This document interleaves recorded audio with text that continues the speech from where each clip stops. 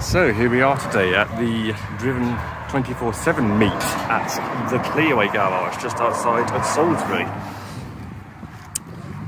We've Already got quite a good mix of cars here, uh, everything from an MGB, camper van, Civic, Fiat, Abarth, Civic, Swift Sports, uh, Delta Integrale, quite a few Fiestas and some bikes. And we've got a, a Corolla T-Sport turning up, very nice. Mini motos. I shall check these out in a bit.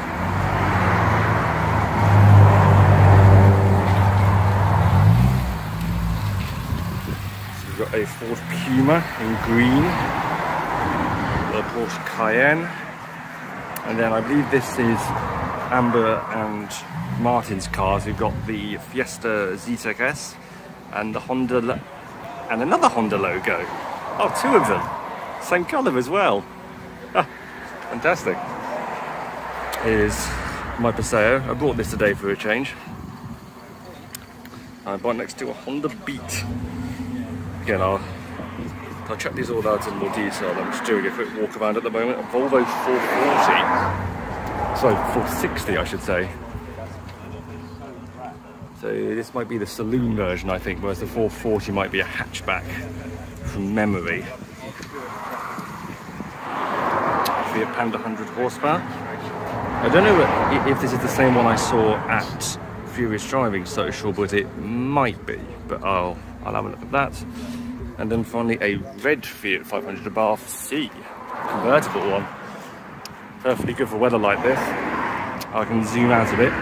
There we are, that's better some more cars turning up, a Ford Mondeo and a Gulf livery Abarth. But then I'm interested in the Honda Beat with a very nice subtle uh, body kit on it. This is immaculate. Uh, and of course they've kept the zebra skin upholstery. Uh, a different steering wheel though, but you know the uh, very motorbike styled dials there. But this is in lovely, lovely condition. It's immaculate. I love this. I really, really like this.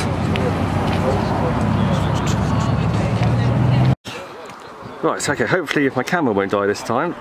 So we've got two Honda logos. Now, this one, obviously, Amber's has the standard engine, but this one, have a look over here. Now, I think the owners were saying this has a B16 engine, so VTEC, a bit peppier out of uh, one of the sportier Civics. I think the VTI, they said, has an air filter on it. Um, it fits quite well actually, like it almost looks factory. It, it, it, it's almost like this engine bay was, was designed to take a bigger engine than this.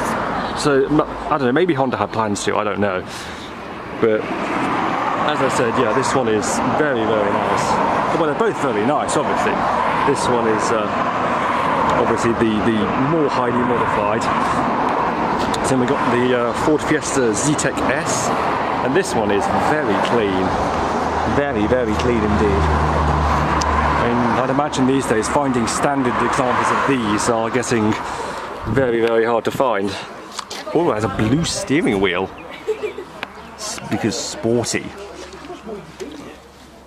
And of course the Mark IV Fiesta, oh it's even got a tartan rug in them uh, on the parcel shelf because of course the, so yeah, the, the Mark IV Fiesta was a, was sort of a subtle evolution of the Mark III. Sort of a major facelift really, but I think the mechanicals were largely the same underneath. This car here is really quite interesting because it's badged as an Opel, and indeed it is. It, this is the the uh, Opel GT, I believe, and and this car wasn't sold in the mainland. It, sorry, it, it, wasn't sold in the UK, but it was sold in mainland Europe. Hence, you can see the steering wheel is on the left-hand side. And basically, what happened was that so the the first generation Vauxhall VX220 that we did get here, this was its successor.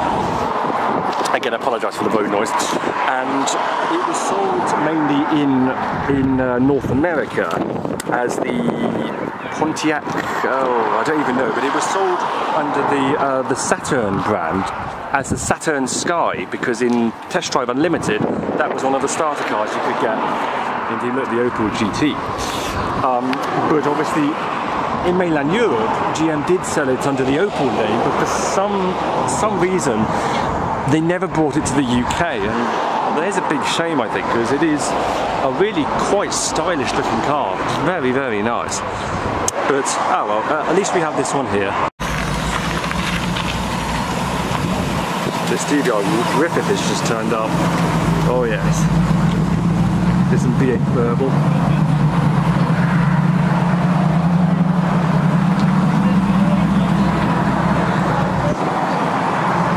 Wow. Wow, wow. Let's, uh, let's check this out. TVR Griffith in probably my perfect colour spec as well. This sort of turquoisey blue and a cream and a beige leather interior. Oh yes.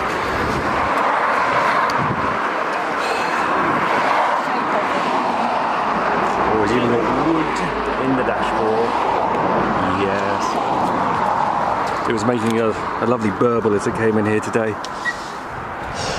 That is gorgeous. Absolutely gorgeous. I love it. So this Honda Civic here, this white one, I think this was on Amber's channel recently. It's owned by a uh, a lady who has done all of this herself, the painting, the artwork on the uh, on the bonnet here, canards. Sorry? Oh, thank you. I will have a look in a second.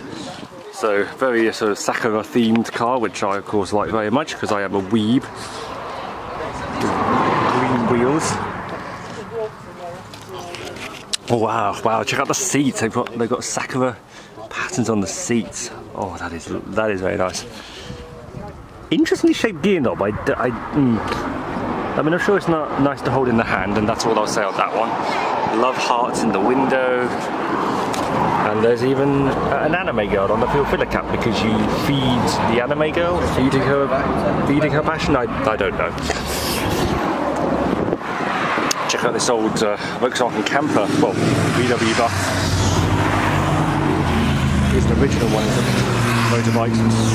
So this is a V-Reg, so a 1981, I think. It's a quite nice colour. Obviously a little bit tatty, but it's it's honest. It's a good, honest old camper van, and, and we like that. It's Mark 1 Porsche Boxster turned up. I think it's a 986 Boxster, if I recall correctly.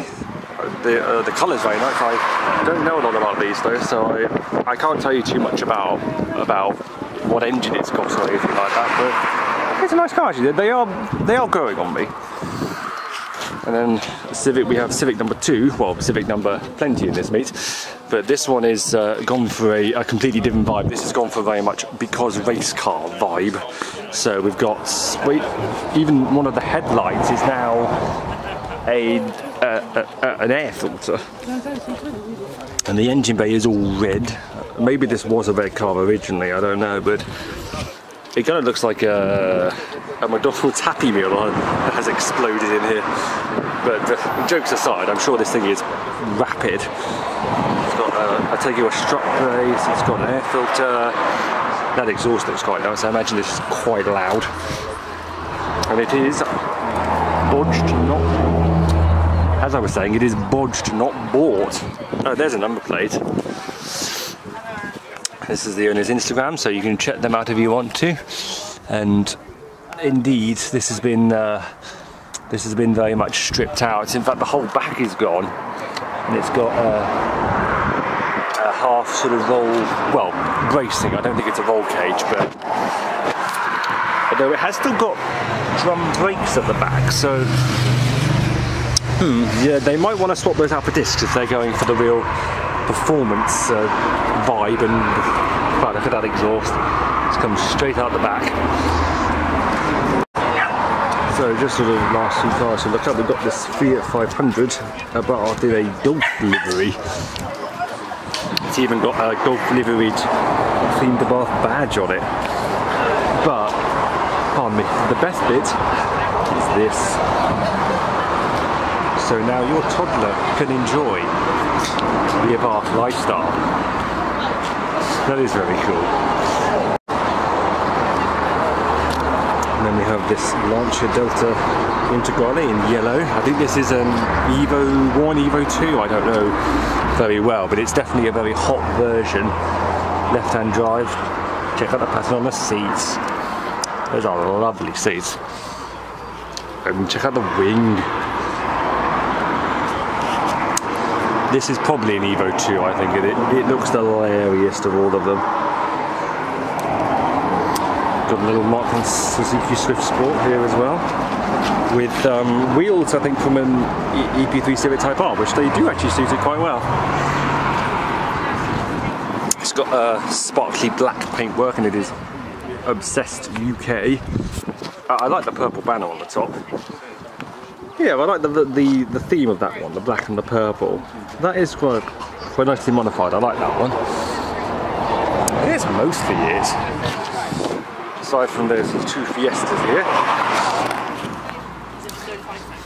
And there are, there's a few cars hidden at the back here. We've got this, we got this M-Class Mercedes, first generation, with a plushie of some description in beige.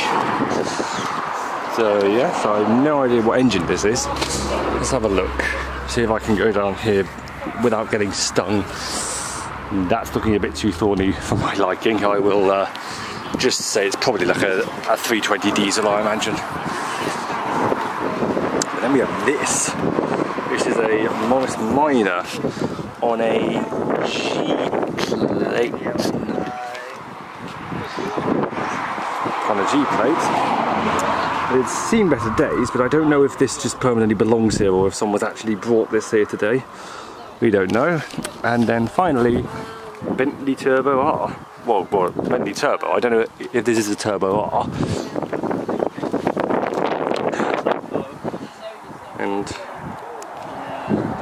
apparently they say uh, apparently people saying in the background that I know my car stuff. I well, I beg to differ, but I, I might have optimism. Anywho, we have wood and leather, and it's all very, very, very all blue carpet. Oh, now that is nice.